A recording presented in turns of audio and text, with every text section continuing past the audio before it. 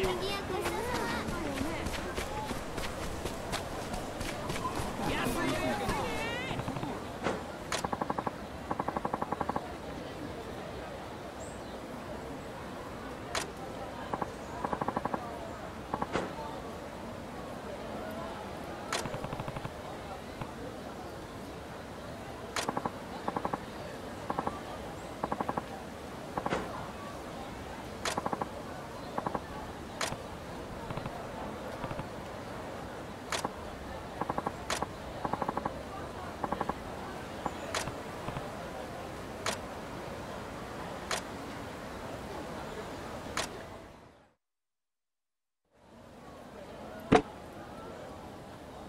Hmm.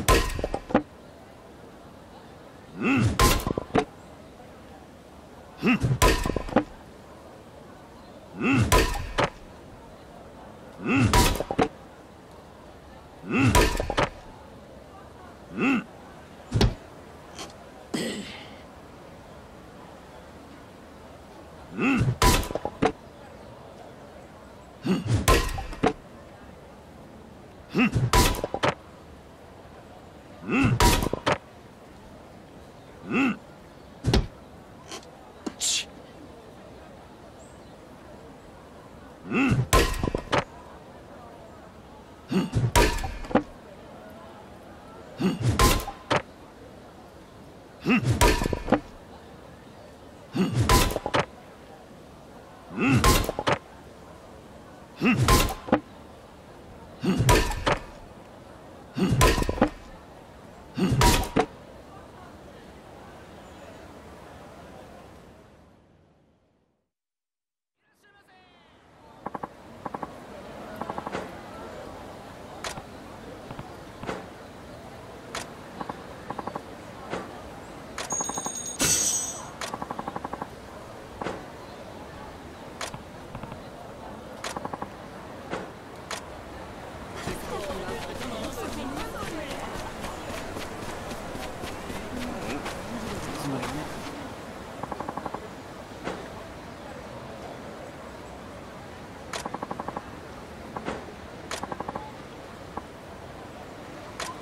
あんまり無理すなよ。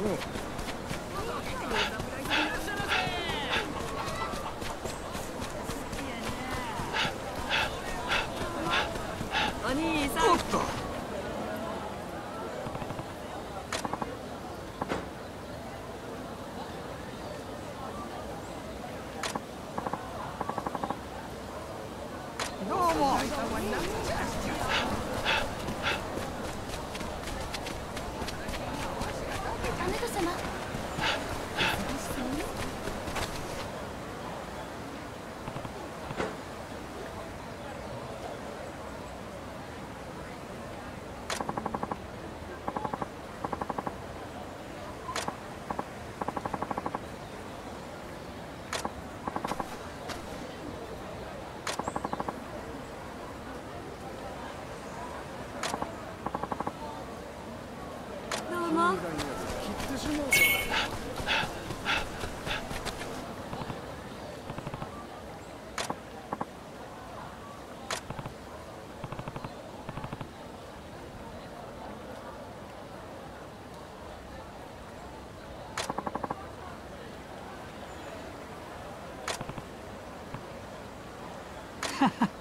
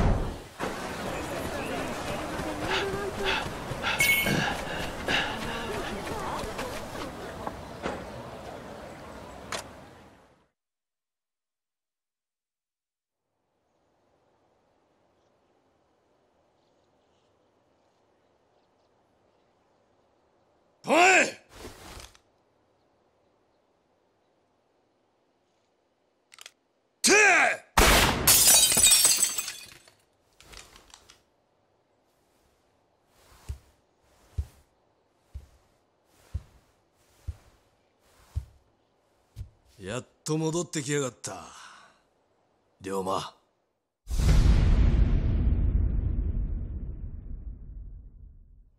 あの竹内先生？もしかしてこん人が？ああ。以前からお前らにはよく話して聞かせている俺の唯一無二の兄弟分であり土佐最強の剣士坂本龍馬だ。これが土佐勤王党かお前何やらかしてきたんだ？傷だらけじゃねえか。つまらねえ話だ。それより兄弟。東洋のおやっさんと剣護私塾で話してきた。そうか。なら話は早いな。みんな聞いてくれ。龍馬はこの一年江戸へ剣術修行に行っていた今日からこの坂本龍馬を土佐勤王党の筆頭としたいと思う。どうだ？ヒットほいたらいきなり第二席。幹部のさらに上じゃちゅうことですか。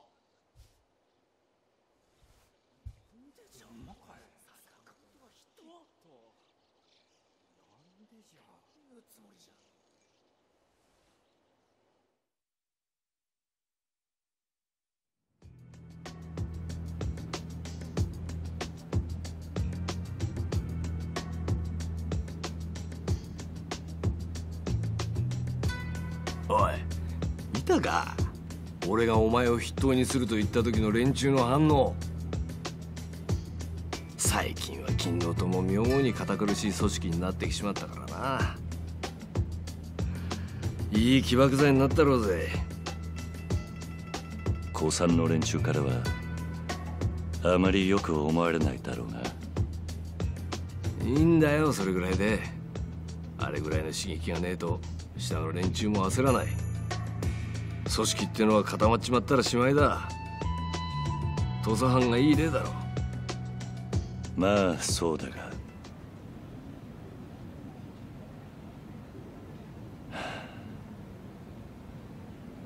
まだ痛むのか背中。んおおこれか？いや痛みはねえさ。まあ後だけは派手に残っちまってるがなすまねえ兄弟。もう謝んなって言ったろ。いつの話だ？15年前だ。だが今でも昨日のことのように思い出す。まあ忘れよったって忘れられねえか。上司による焼き討ち目の前で両親と家が焼け落ちるのを見ちまってんだからな。あの時兄弟が助けてくれなかったら俺は両親ともども灰にされてた。だが俺を助けたせいで兄弟は大やけど。本当にすまないと思っている。だから謝んなっつってんだろ。う謝るのはお前じゃねえ。あの日お前の家と家族を焼いた上司どもだ。だろああ。龍馬俺とおやっさんは土佐藩を変えるつもりだ。当然お前にも力になってもらいたい。あらかたの話は聞いてる。だが実際のとこ何をする気なんだ？土佐藩の天守。高知城を襲撃するのさ。土佐勤王党の党員。500人でな。襲撃だと？襲撃っつっても実際には手を出さずに終わるはずだ城を包囲して勤王党の覚悟が藩の上層部に伝わればいい。その上でおやっさんが城を牛耳る老人たちに隠居を迫るんだよ。万が一老人たちがそれを拒めば当然その場合の軍備はできている。そうやって空いた席に金納刀が座るのか。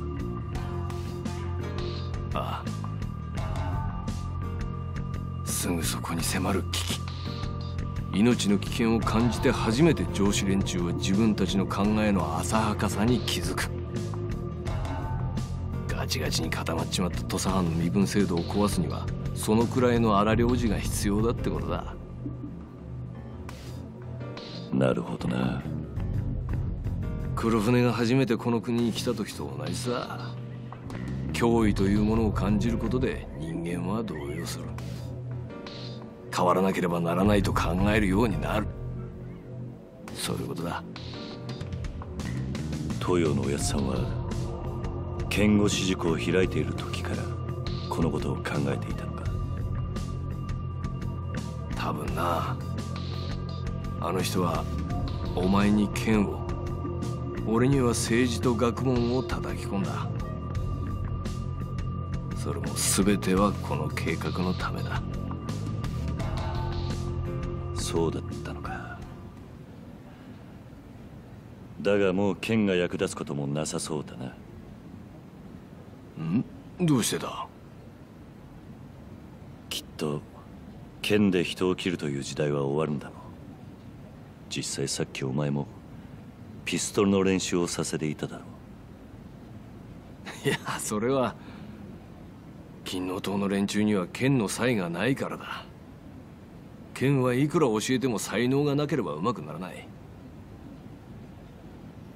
だがピストルは違う。練習さえすれば戦力になり得る。万人に平等な武器というわけだ。平等な武器か。龍馬俺らは身分という壁を壊そうとしてるだがたとえそれが実現したとしても人間は決して平等になんかならない。才能があるものとないもの身分という壁はなくなっても今度は別の壁が立ちはだかる。だから俺はどうにかしてどんなに学がない人間でもどんなに剣が触れない人間でもせめて楽しく生きられる世の中を作りたいと思ってる。兄弟。お前も持っておいてくれ。金納刀の一員として。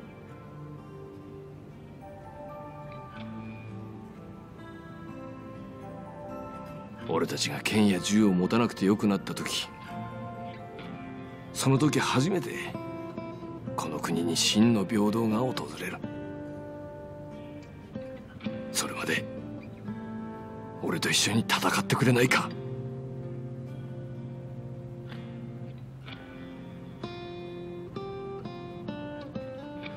土佐金納刀を俺と一緒に支えてくれ。頼む。